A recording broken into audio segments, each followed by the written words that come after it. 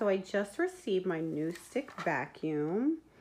You can see here, it is pretty lightweight, pretty manageable, um, easily to store. I would say this is a great product to keep probably just in your hall closet, somewhere for you to um, easily access for those quick cleanups that you need possibly throughout the week. Um, you can see too, I already did um, assemble this, but there are two areas where you're just gonna twist on the top here and then on the bottom.